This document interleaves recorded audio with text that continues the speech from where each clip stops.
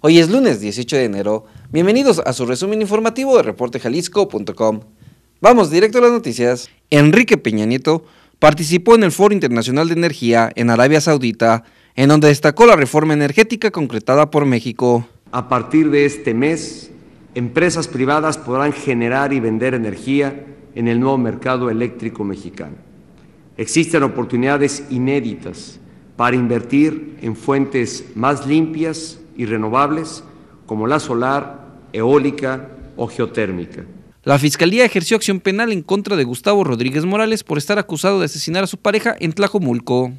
La actriz Kay del Castillo fue citada a declarar por la PGR en calidad de testigo, tras haber intercedido para que el actor Champagne entrevistara al capo Joaquín El Chapo Guzmán.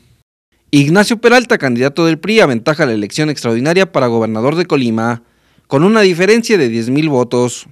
El exjugador de Chivas, Marco Fabián, anotó un doblete con su nuevo equipo alemán.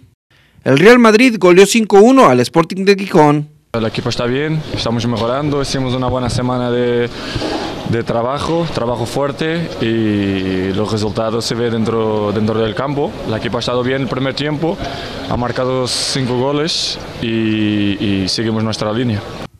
Esto fue su resumen informativo de reportejalisco.com. Que tengan buen inicio de semana.